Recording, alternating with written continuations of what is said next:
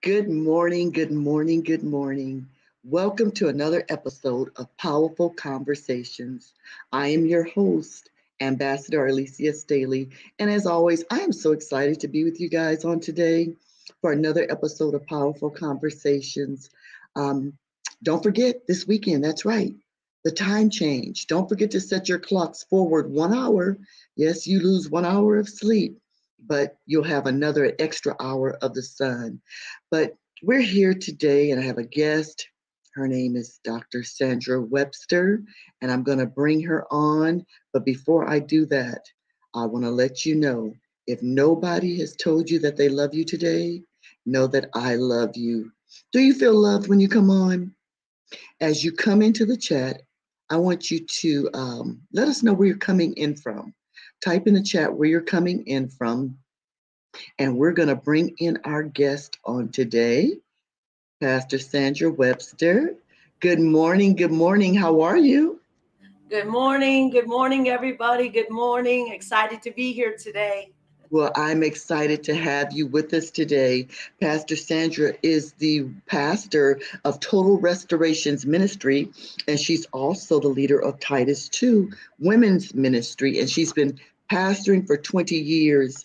And we were talking um, one day at her birthday celebration, and I was like, you have to share your testimony. She started sharing a little bit of it. So she's here today to do just that to share her testimony. But as you come in, and I'm going to do the same, um, share the broadcast, share it with somebody. We want her testimony to go viral to let people know that what God has done for her and in her life, He can also do for you. Because He says, What? I have no respect to persons. And God wants to do it for you. It's the enemy that wants to keep us bound. It's the enemy that does not want us to reach our destiny. It's the enemy that does not want us free. But guess what? There's liberty in the house today. I want somebody to type in the chat, there is liberty here today. So, Pastor Sandra, I am going to get you go ahead and start your testimony. God bless you, uh, Pastor Janice Pruitt. God bless you, woman of God. Uh, go ahead, woman of God, and share your dynamic testimony. It's powerful, you guys. Amen. Amen. Well, thank you again, Ambassador, for having me on. It's a privilege and an honor. And um, and yes, um, God has done such an amazing, like it, I, I'm like my hometown, my family, my friends, people from my hometown that know me. Um, they know there's a God, right? Because yes. uh, knew me uh, B, B, BC before Christ, and so when they see me here today, um, you know, uh, they know that there is a God from where God brought me from. And he has truly brought me a mighty long way. And to God be the glory. I just yes. want to say before I get started, before I share my testimony, I do want to say that people ask me all the time, you know, you've been uh, pastoring for 20 years and you've been serving God and doing, um, uh, you're a conference speaker, retreat speaker. Um, you run a shelter for women and children. And so, um, all these years, why do you continue to share, you know, your testimony in detail of what God has done in your life? And Ooh. I, I say to the people out there is that because we understand that that addiction is a great spirit stronghold, uh, a prison that is keeping many, even in the church, um, uh, in bondage. And so, you know, um, I feel compelled to share it because um, I think that it's a continual uh, rising and growing epidemic in our world. And the church is not exempt, you know, from this uh, attack of, of addiction. And so, and so that's why I continue to share it. And I'll get into that more of what God uh, gave me to share with you guys about my testimony. So um, it was back in 1989. I was 18 years old. I was introduced to uh, crack cocaine. And then later, at the age of 23, I graduated to heroin and um, and then pills and then alcohol and marijuana. And I mean, what, if you said it in front of me, I was going to do it. I was just that uh, type of addict um, mm-hmm. that um, I just, you know, I had just lost all touch with reality and morals and all the things that I was raised with, all of the values and morals that I was raised with. And so addiction took me, you know, down roads uh, that um, I'm not proud of today. Um, and it made me become something, but I was consumed uh, by the stronghold of addiction. I welcomed that demon of addiction into my life, you know, and so it, it, it became a stronghold, and you become a puppet, you know, you become a puppet to addiction. And I know a lot of people don't understand that, but you become you become controlled by the demon of addiction. And mm-hmm. so in the process of that, um, my addiction, I had um, uh, there was many times um, uh, this one particular time, I was um, I had been getting high on crack cocaine for a number of days. I was sleep deprived. I was uh, I hadn't ate in I don't know four or five days. I hadn't slept in four or five days, and I was um, at a dope house and I was getting high, and I, I don't even remember. I mean, this house was like a considered like a New Jack uh, city kind of house. There was drug dealers, there was rooms, there was prostitution going on. There was just it was just had it was a big house with different rooms, and everybody had their you know they were doing whatever they were doing, and I was in this house, and I um I had been sleep deprived and you know eat deprived, and I began to uh, get high, and um I just I don't remember. I just remember you know getting ready uh, to get high and that's all I remember. Um, mm-hmm. And so, next thing when I woke up, I was in another house. I was a house across the street. Um, and um, so this was the next day. It was no, a, a whole day had passed. No, no, no. This was like matter of maybe I don't know minutes, minutes. Okay. The, yeah. So I, I, what happened was I fell dead. I OD'd in that house.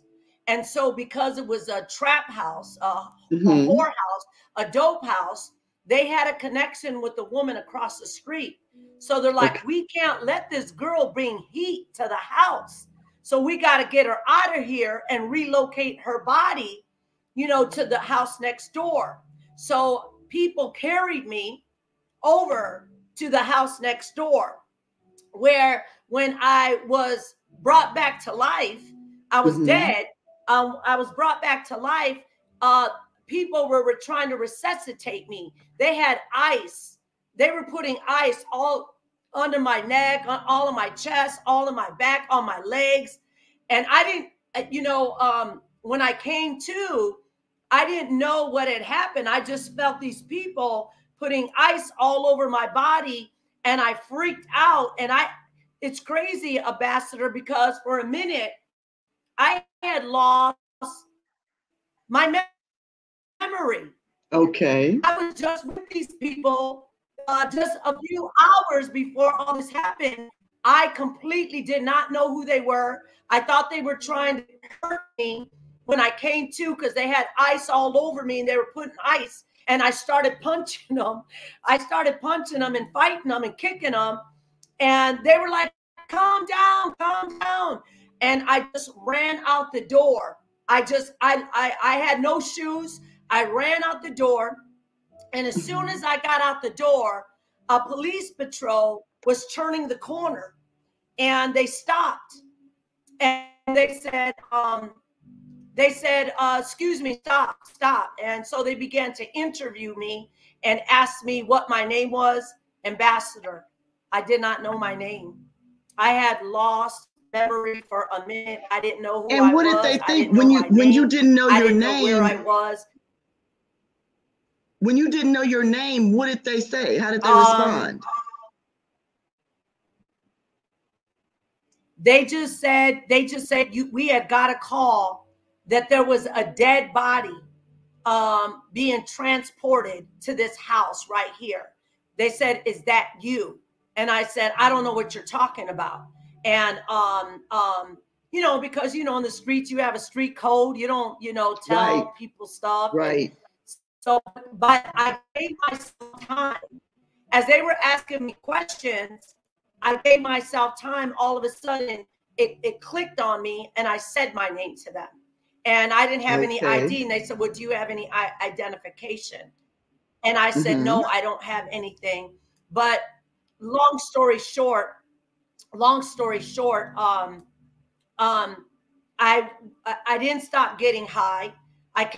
continued mm-hmm. on my drug uh, pursuit of drugs, and mm-hmm. I ended up in the county jail because I used to steal in the stores uh, to support mm-hmm. my drug habit. So I would right. sell merchandise out of stores uh, to the dope dealers. And so, mm-hmm. um, anyways, I'm in the county jail. I got caught for petty theft. The county jail. There was a prostitute with that was there, and because I didn't know what had happened to me, I I asked her what happened. I asked her. I said, you know, her name was Margot, and I said, mm-hmm. what happened to me that day? What what you know? Because I didn't remember anything. Was she and there she with you? Died. She said you died, and they were trying. To, huh? Yeah, she was in the house. I, she witnessed everything. But yes. but you were you you were in jail at this time. There's yes, just a little I had, delay I had, I had reconnected with her in the county jail. Okay. Okay. Okay. Got it. Yes. And so and so in the county in the county jail, I asked her what had happened. And she said, um, you were dead. And mm-hmm. they said that they needed to get you out of the house so that you wouldn't um, bring heat to the house. So they relocated mm. you. And she mm. said, You're lucky that you came back to life. She said, mm-hmm. Because they said that if you didn't come back to life, they were going to put your body in a trash bag and drive it to the river and dump your body in the river. But God,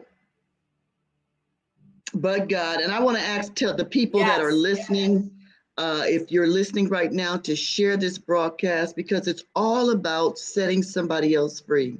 A lot of times we want our loved ones yeah. to be free, and that liberty may not come through you. It may not come through your, uh, you may be a pastor watching, you may be a leader watching, and your child's deliverance may not come through you. It may come through a broadcast of somebody hearing a testimony such as this. You may yes. be sitting in the county jail yes. right now watching this, someone has, by some way, God has allowed you to see this, to know that you too could be set free, that that is not your end. It may just be a, a comma, but it's not a period. It's not the end for you. So as you share, I want you to say, I've shared. Just type in the chat, I've shared as you share the broadcast, because I know that somebody is going to see Pastor Sandra Webster sitting here all beautiful and not looking like what she's been through, but say, wow, there is a God. There is change for me. Change is a possibility for me. If God did it for her and what she's been through, my God. And as far as you sell sharing your testimony, it brings glory to God. The Bible says we overcome by the blood of the Lamb and the words of our testimony. And when He brings us out, He wants us to forever. We never get too big for our testimony. He wants us to forever let somebody else know. Yes. I too can be set free. Because the reason he did it, sometimes we go through trials and we go through tribulations, not for ourselves, but it's to let somebody else know God did it for her, God did it for him, and he can do it for me. So, Pastor Sandra, go ahead. So, they didn't want the heat, they had to get you out of that house. Um, you were a liability at that point. Yes. And they were talking about dumping you in the river. Yes. Yes. But and God had another plan. yes, you know, it's crazy. Wait a minute. Wait, wait. He put you in the river of living waters. That's what he did. He, he, he put you in some water, all right. The water that washed you and cleansed you. His spirit. Hallelujah. Yes. Hallelujah. Glory, His spirit. Glory yeah, you got you got in the they, you got in the water. I got baptized, all right. but go ahead. So so um you know um and it's and and just you know also too because I definitely as you mentioned already this story is not to glorify the devil, it's to glorify God.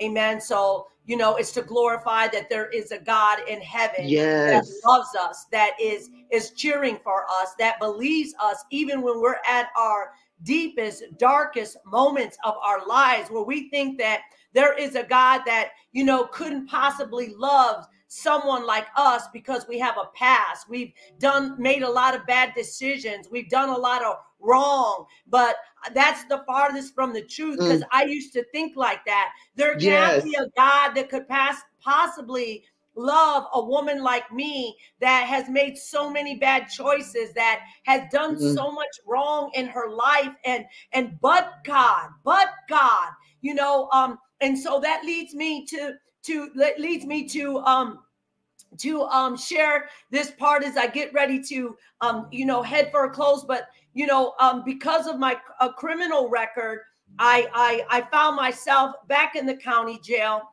and being sentenced in, uh, to prison in the time that I was in prison um um I um I I knew about Jesus I was raised a Catholic but I knew of Jesus, but I did not know Jesus, right? Like it makes a difference.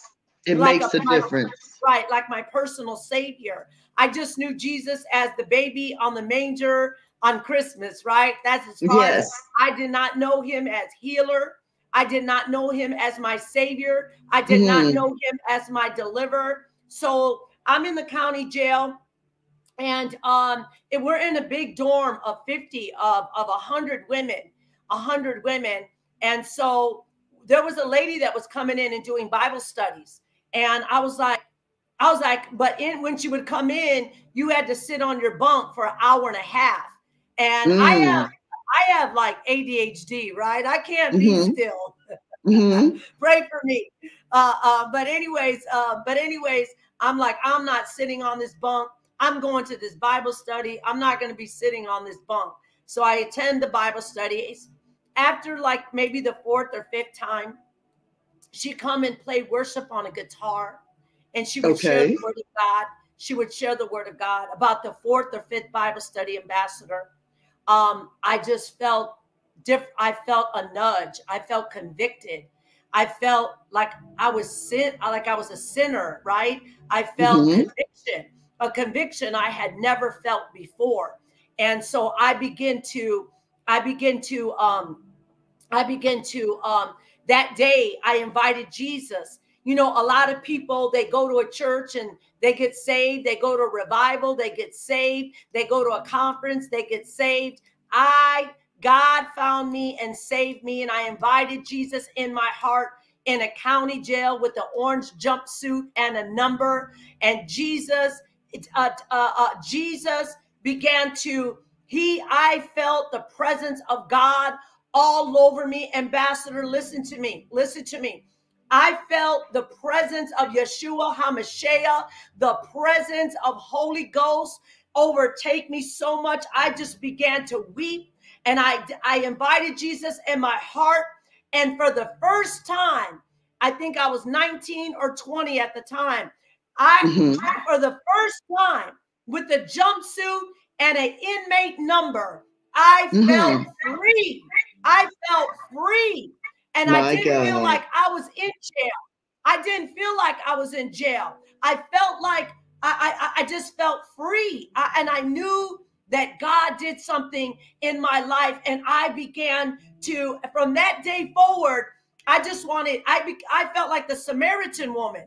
I just wanted to start mm. telling everybody about Jesus.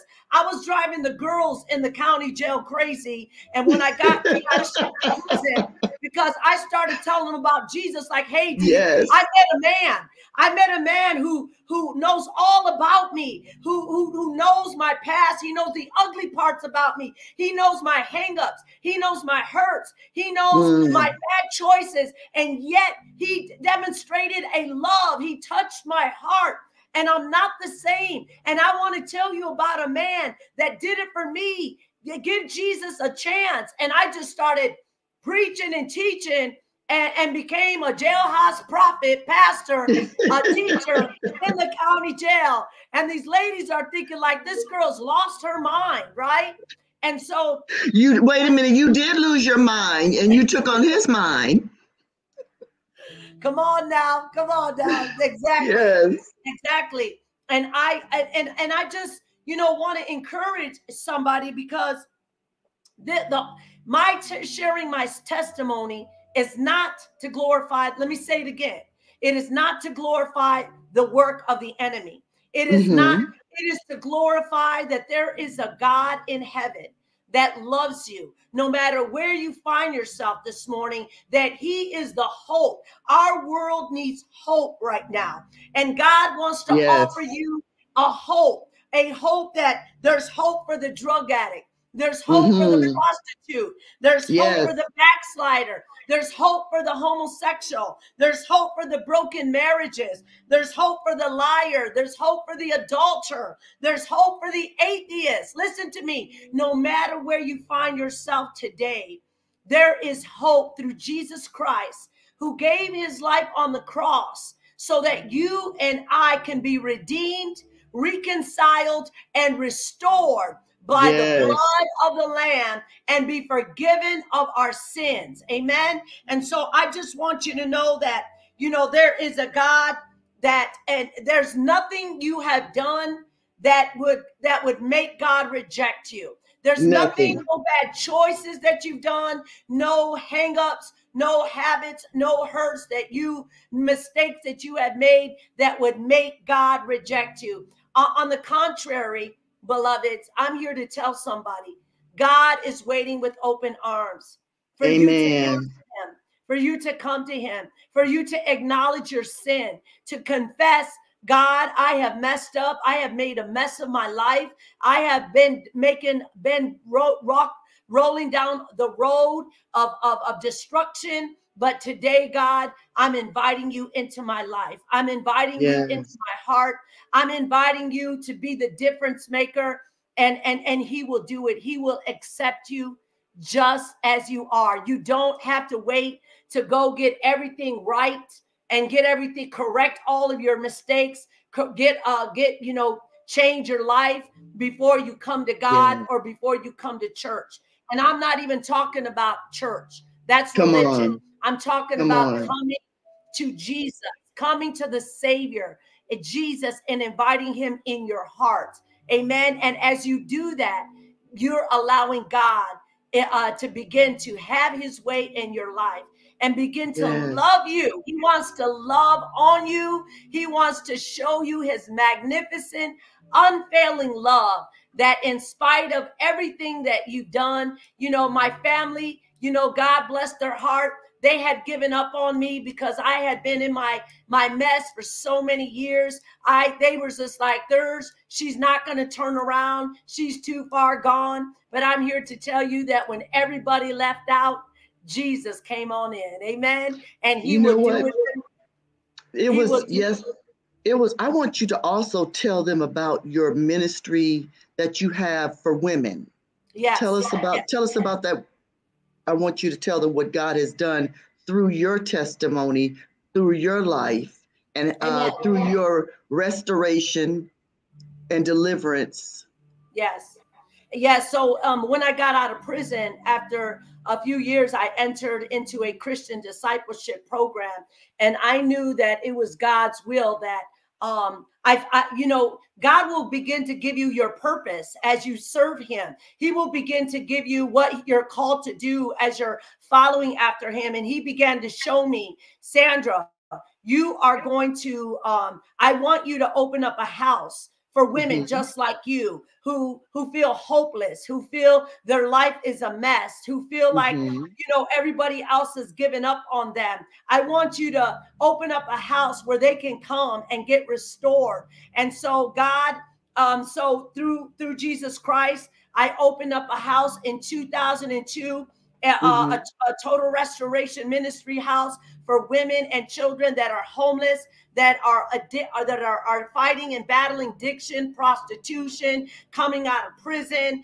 um, women who um, some of these women have lost their kids through DCFS, and so God has asked me to. Um, you know, to to um, now run a women's home, and I've been doing that for the past 20 years and it has been an honor and the success stories that have come out of this yes. women's home women who've gotten their kids back, women who went back to school and got their degrees. When uh, I mean, I mean, just so many women, women who um, uh, went and moved out and got their own house. And so, yes, and I remember a couple that got their home. Uh, uh, that got that through your ministry. They yes. left the program and got a yes. home. Now, if yes. someone wants to come into your program, how do they get in contact with you? Well, I'm on Sandra. If they want to be um, considered. Right. Yes, I'm on Sandra Perez Webster uh, Facebook page as well as Instagram. And so um, you can contact me through there, or we have um, a number. It's uh, Total Restoration Ministries office. If you want to do, um, if you have a loved one or you yourself are battling with homelessness and addiction, um, we have a number. It's 909 753 7073. You can also go on to Total Restoration Ministries website. It's www.totalrestorationministries.com and you can contact us those ways. Now, yes. is it for men and women or just women?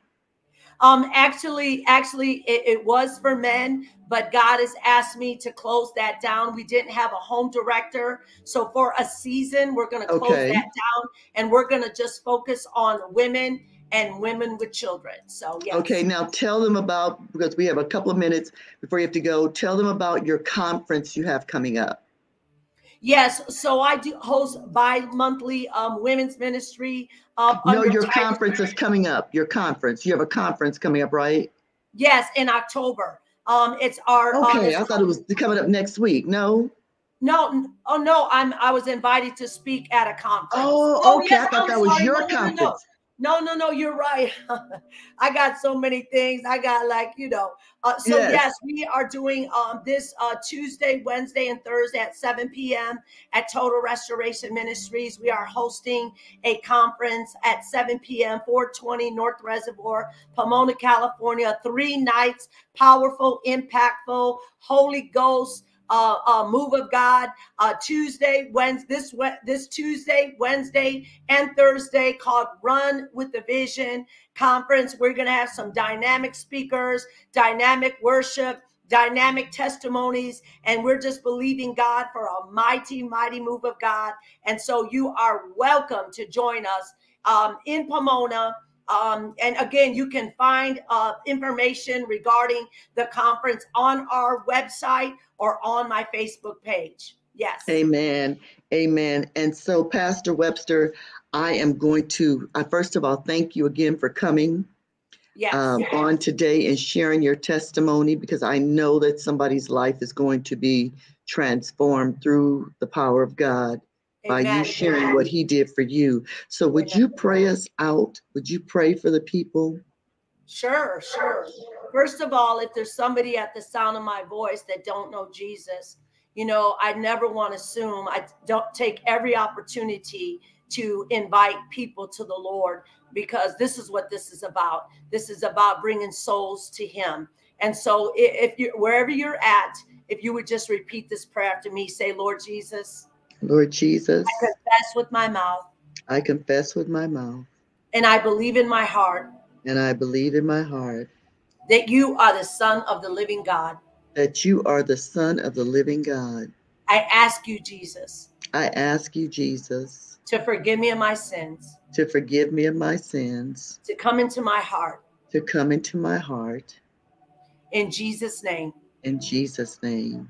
Now, Father God, I speak, of Father God, in the name of Jesus, that whoever is listening to this audio, whether they or they have family or loved ones or friends that are battling addiction, my God. I pray that my testimony give them hope that it's not over that it this is not the final chapter of their life yeah. that god can do a miracle if they would just open up their heart and begin to um, allow jesus into their lives. And and so i pray that you break my god the sin of addiction. I pray that you break the stronghold of addiction. I pray that you break my god every every habit every yes, mindset every I pray that you bring healing to the hurting, to the brokenhearted, my God. Those who may have recently lost a loved one, my God, through the COVID, my God. I pray that yes, you bring God. healing to the brokenhearted, those who are being challenged financially. I pray, my God, that you will meet every household need, that you will step in, my God, and be Jehovah Jireh, my God, their provider, my God. And so I thank you, Lord, for this day, Lord God. And I thank you, Lord, that many who hear this testimony, my God, that they are going to find they are going to invite Jesus into their heart and they're yes. going to know that there's a God that Thank loves you, them, that they're going to know that there's a God who is for Thank them, you, that there is a God who has not given up on them. And so I thank you, Lord Jesus, that you're going to use this, my God, to point people to the cross of Christ, my God. And I thank you, God, that salvation is going to is is going to uh, come because of this testimony lord god and healing and deliverance is going to come because of this testimony and i thank you that ambassador arlisia is going to hear of lord yes. god the testimonies that somebody yes, brought their family uh, to this broadcast to hear this testimony and yes. gave their life to jesus Thank so we you. thank you, we glorify you, and we use everything, Lord God, of our lives to exalt none other than Jesus yes, Himself. To Him be yes, glorified, to Him be lifted up. Yes. And in Jesus' name, amen and amen. Amen. Amen. Thank you so much, Pastor Sandra. We thank you for coming on today and your testimony. Never, please never stop telling that testimony. It's, it's powerful. It is Amen. it is powerful.